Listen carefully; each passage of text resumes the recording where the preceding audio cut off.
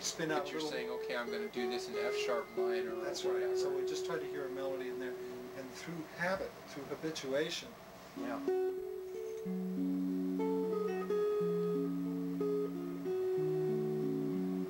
from playing millions of exercises and you know hundreds of little things, where you'll harmonize, you'll naturally add other voices if you're in the mood to.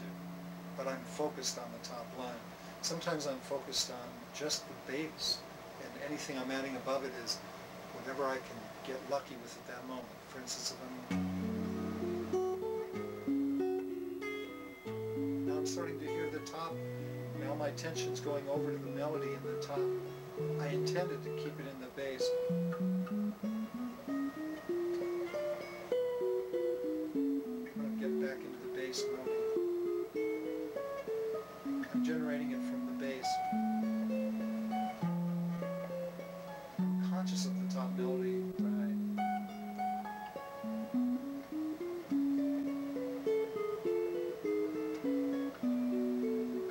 Sometimes I think of chords like there. I definitely think of the names of these chords. E minors, A7, D, the cycle.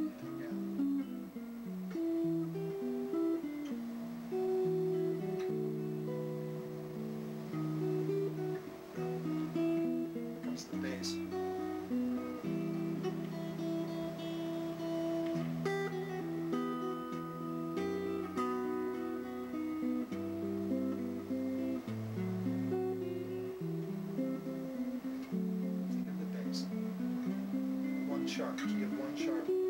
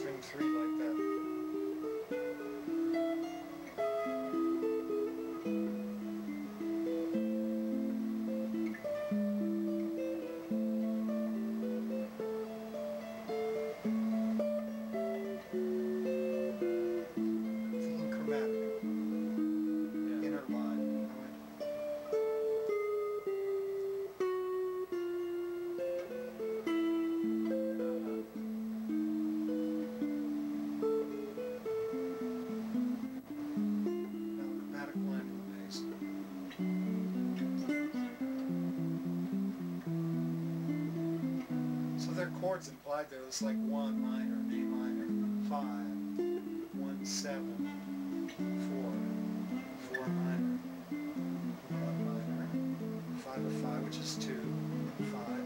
Those are only some options. Uh, I mean, uh, this could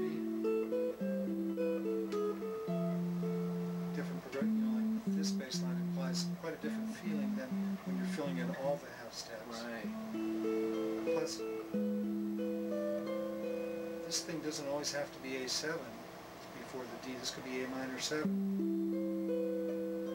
This could be F sharp half diminished. I like the the three note uh, when it turns into that. I mean, when I've got lay, loud layering side, effect. Yeah, me too. Yeah. I, I like that have a lot. with that. That's Bach's favorite.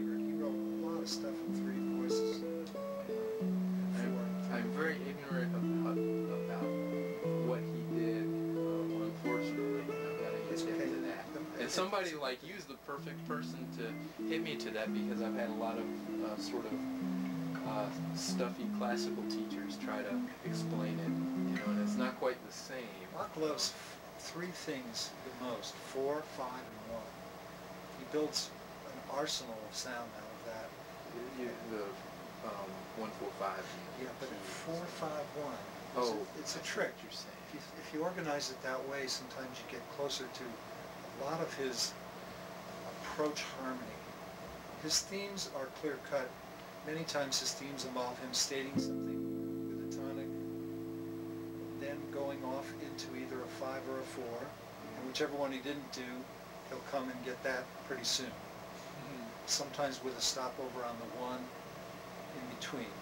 For instance, to hear him go.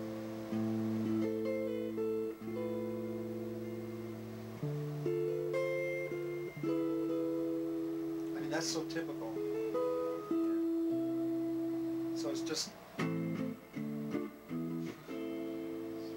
So if he had hit the one in between the four and five.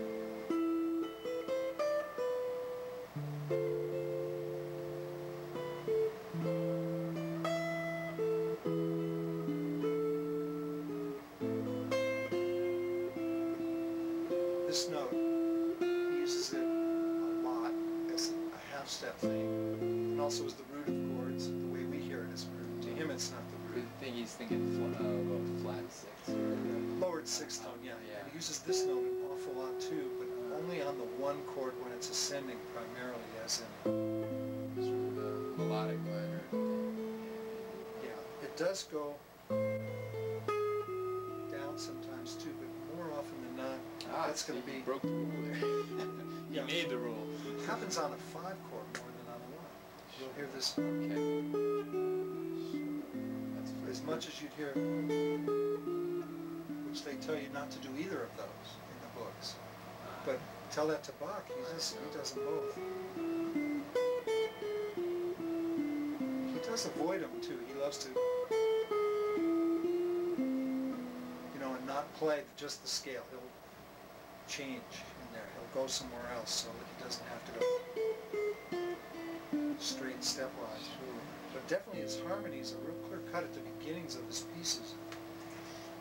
What happens is once he's established those, a lot of inner parts flow in approaching various tonics along the way.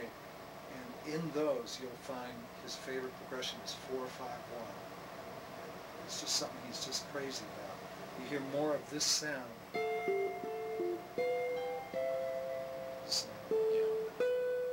Ascending line than just about any line in. In some fashion.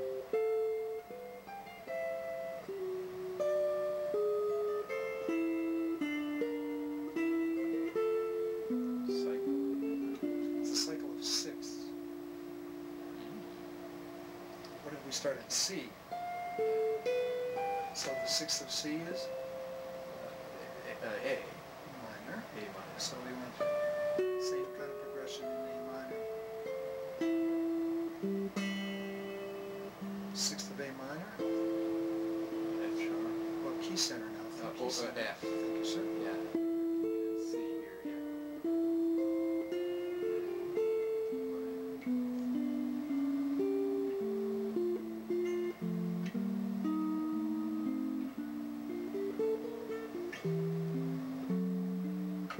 Is that a familiar sound to your? Because those are Yeah. four, five, ones in various Sure. tone centers. But it's it's a whole way different way of, of hearing me. It really If- is. If you hear first inversion, you'll do well for yourself, as on the fours and fives. That's Mm. his favorite. If you're going to study the harmony of Bach. Because what I'm doing when I'm listening to to a jazz piece or something like that, because sometimes it's not so contrapuntal. I'm so caught up in listening to the different lines, and sometimes I'm not even really trying to think too much about what it is. I'm just listening to it, and, and I, I would like to get to the point where I'm more analytical and able to. Well, it's good that you're enjoying it. That's a good sign I- that you're at least enjoying Oh, it. most definitely. So when you hear this line for an A minor, you hear it. Even that's six, seven, Right. raise six, raise seven, one, Right. that's also four, five, one in the primal sense, the way we're calling it.